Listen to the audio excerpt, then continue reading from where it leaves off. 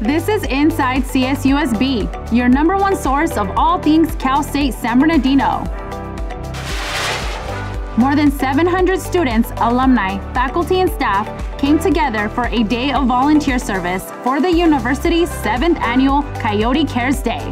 The majority of students volunteered at off campus locations, while alumni, faculty, and staff packed boxes of food for families in need.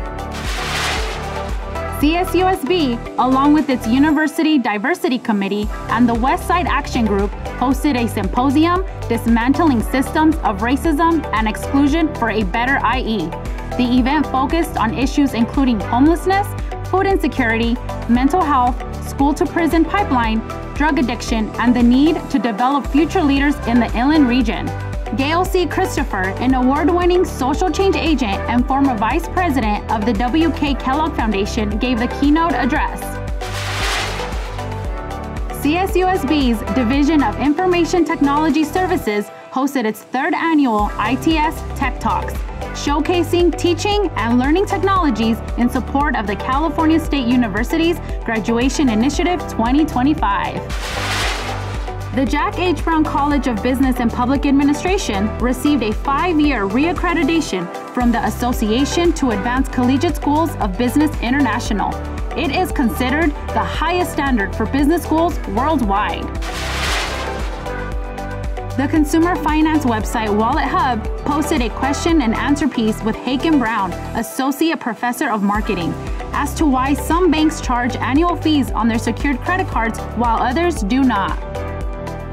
In a Chronicle of Higher Education article highlighting CSUSB's ongoing work to convert from a quarter system to semesters, the piece included an interview with Tom Provenzano, professor of theater arts, who directs the university's Q2S curriculum committee.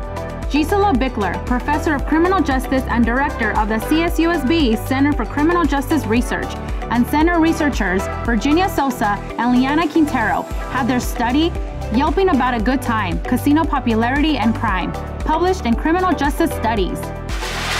More than 150 students, faculty, staff, and members of the community participated in this year's international market.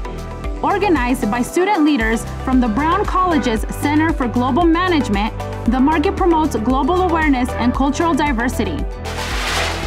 CSUSB hosted its second annual 5K Kids Run to benefit the university's infant and toddler lab school.